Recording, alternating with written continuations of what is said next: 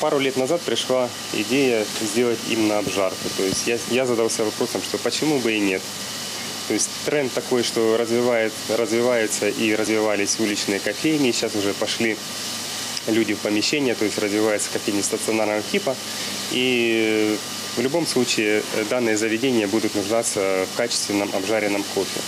Вот. И, а в этом проекте решил совместить э, обжарку кофе как для небольших кофеин, так и для местного населения, которые могут прийти и приобрести для себя свежий обжаренный кофе, который им нужен к себе домой.